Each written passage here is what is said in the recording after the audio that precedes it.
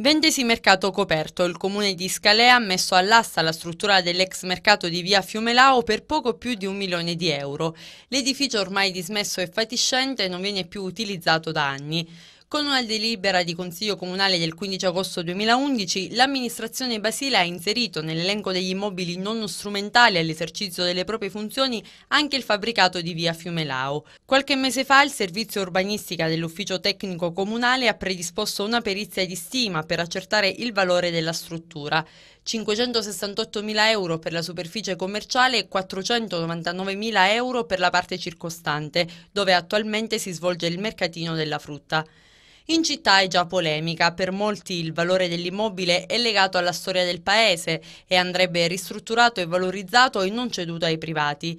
Altri invece sperano che siano gli amministratori a stabilire, prima che l'ex mercato venga ceduto, quali attività potranno essere realizzate all'interno e che queste portino beneficio in termini di fruizione nella città a turisti e cittadini.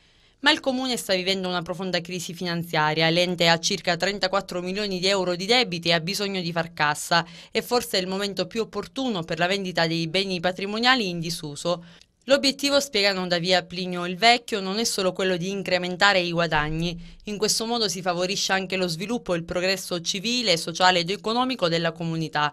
Un investimento che l'amministrazione Basile al momento non può permettersi, ma che con criterio e scrupolo vuole affidare ad altri.